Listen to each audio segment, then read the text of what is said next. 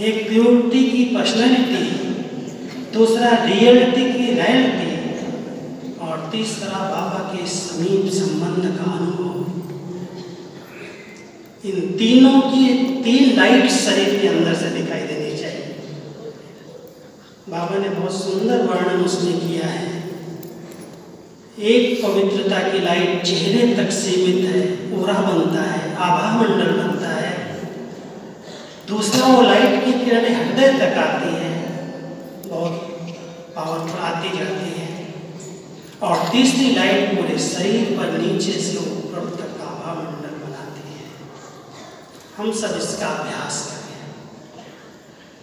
अपनी आत्मिक स्थिति में बैठकर बाबा से शक्ति लेते हुए वो पवित्रता की शक्तियों को इमर्ज करें।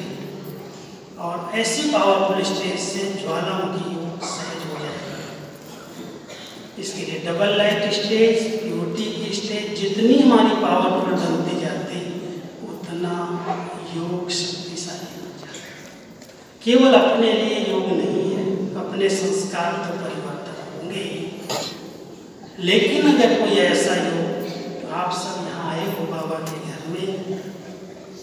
मेरा एक शुभ संकल्प बताऊँ? एक एक घंटा शाम का नमाज़ साहब का समय।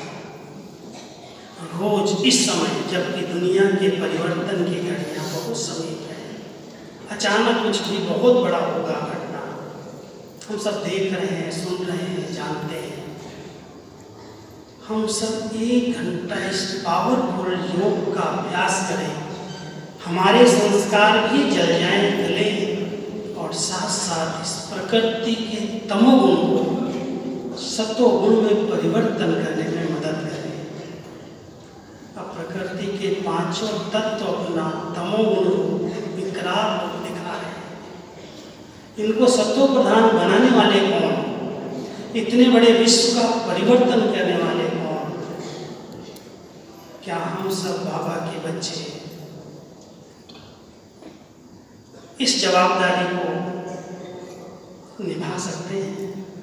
एक घंटा से तपस्या के रूप में योग को और हर सेंटर पर जहाँ भी रहते हो, चाहे सेवा केंद्र पर चाहे घरों में हो, आप लक्ष्य रखो, शाम का साढ़े छः से साढ़े सात का समय, सात से आठ का समय। हर स्थान पर तपस्या चलनी चाहिए। अगर ये योग अभ्यास हम करेंगे और शक्तिशाली याद में बैठ कर